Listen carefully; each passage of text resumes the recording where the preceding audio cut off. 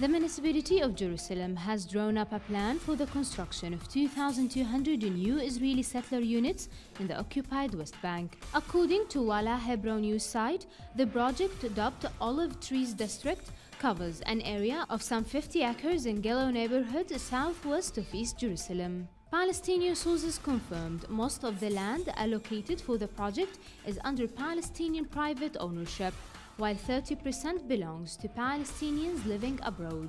The establishment of settlements violates the international law, which states that any occupying power is not allowed to make any permanent changes at the territory it occupied. According to the international law, it's also prohibited for the occupying state to transfer its own citizens to the territory it occupied. Israel continuation in expanding the building settlements is uh, violating the uh, international community world to stop such, such actions. The project contractors recently held a meeting with Israeli officials, during which they called for immediate execution for the Israeli plan. On Tuesday, the Palestinian Foreign Ministry condemned the project, saying that Tel Aviv continues to disrespect the international laws. The ministry also called on the international community to hold Israel completely responsible for Israel's behavior, which obviously obstructs the two state solution.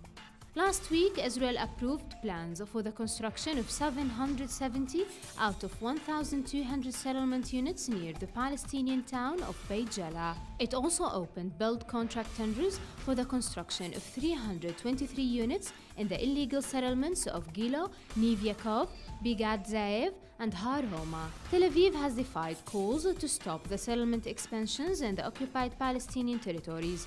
Over half a million Israelis live in more than 230 illegal settlements built since Israel's annexation of the West Bank and East Jerusalem during the 1967 war. Nuharazin TeleSUR TV, Gaza.